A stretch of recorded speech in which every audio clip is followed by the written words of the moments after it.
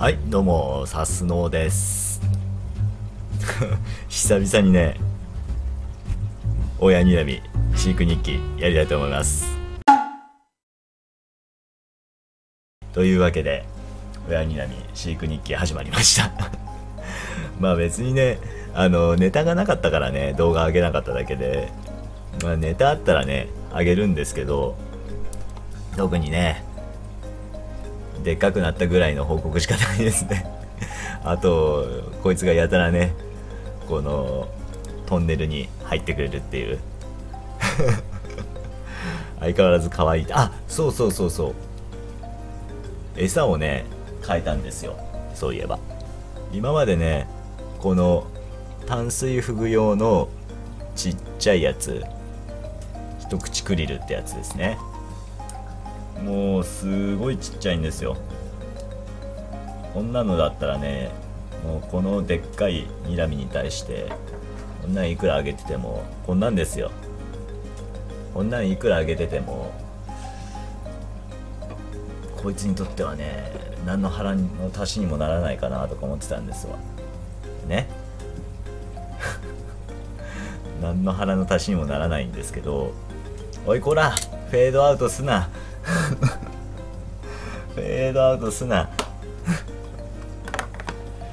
今回はこれ買ってみたんですよ。テトラクリル。これね。結構あの大田大 大田ってなんで大型魚を飼ってる人にしてみればおなじみなのかもしれないですね。ちょっと開けてみましょうか。エビのサイズだいたいこんぐらいですね。ニラミに対してかなりでかいです。このまま揚げたらちょっと詰まっちゃいそうなので半分にします。うわ ちぎれましたね。でこんぐらいですね。これじゃあ早速揚げてみましょうか。ほら。口口。口口。うんし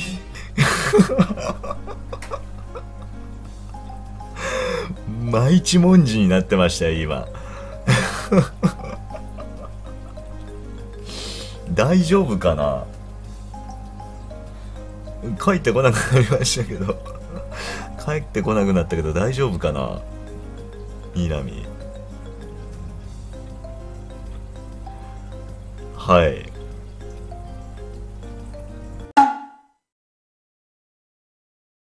じゃあ無事帰ってきたんでね。もう一個あげてみましょうか。これね。へいニラミ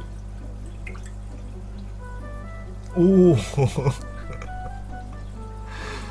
あいつあれですね。自分より自分よりっていうかなんかある程度でかいものだったら食えるんですね。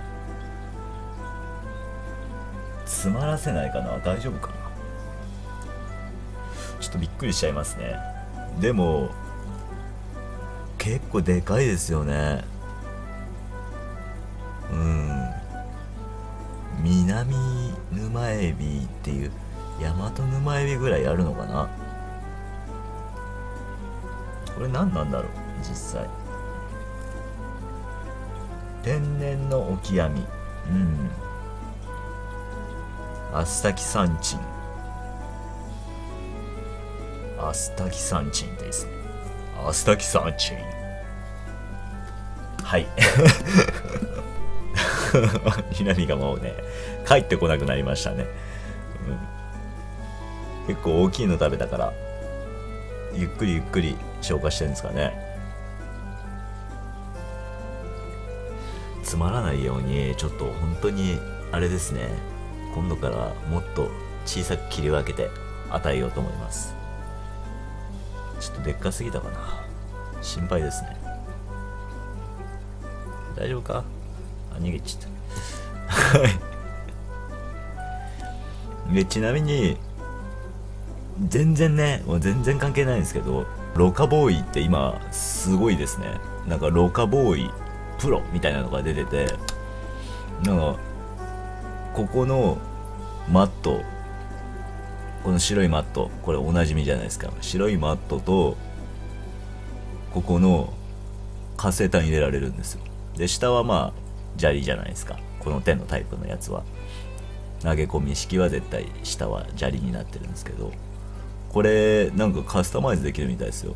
スポンジ活性炭活性炭っていうパターンもできるしスポンジスポンジスポンジみたいな感じもできるみたいです。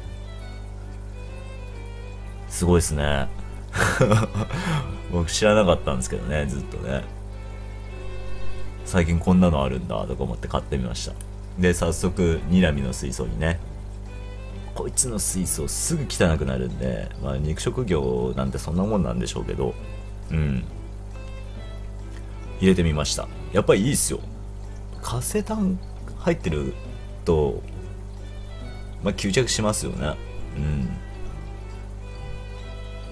まあ結構水質に影響を与えるんじゃないかっていう噂もねちらほらありますけどね。うん。まあいいっすよやっぱり。使ってみた感じ。綺麗です。うん。主役のねニラミがね ニラミが全然もう全然相手してくれなくなっちゃったんでダメですね。本当にこいつのね動画を撮るときはねダメなんですよ。相手してくれないと。なんで今回こんなとこにしときます。もうちょっと飽きちゃったみたいなんで。うん。何かねネタがあったらね。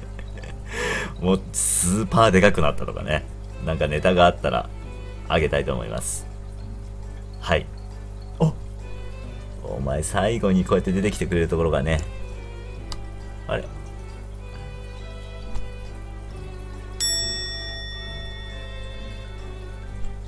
はい。じゃあ今回はこの辺で終わりたいと思います。ご視聴ありがとうございました。さすのでした